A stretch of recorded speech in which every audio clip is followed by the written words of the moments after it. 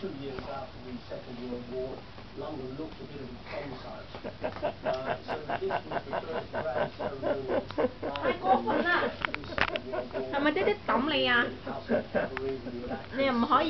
uh,